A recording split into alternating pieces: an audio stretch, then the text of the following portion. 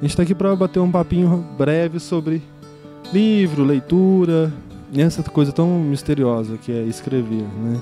Eu queria começar parabenizando a Flu por ter tido essa ideia de trazer a culinária para dentro do festival literário. A maravilha que a literatura trouxe para minha vida, eu não consegui guardar só para mim.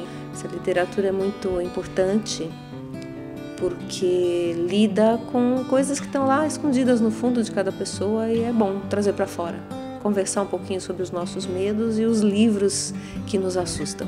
E escrever sempre foi a minha paixão, isso é um desejo da mais tenra infância. Eu era uma menina muito inventadeira. Minha mãe dizia que ela não sabia onde cabia tanta imaginação numa menina só. Porque tudo que eu queria ter na minha vida de verdade que eu não tinha, eu inventava. Eu guardo até hoje os meus livros de infância. Eles foram os primeiros alimentos do meu imaginário. Porque a vida é uma festa trágica, alegre, triste porque a vida é um presente, não importa o recheio, porque o tempo é caudaloso e apaga o próprio tempo.